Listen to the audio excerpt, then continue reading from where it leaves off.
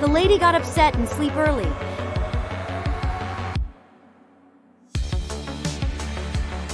As she was sleeping, she dreamed of a bubble bath on the tub with the man on the pot. She woke up still upset, and the lady drank the whole glass of water in the front of the plant. She wanted him to realize what he had done. That night, the plant got sick. He needed care, so the lady took care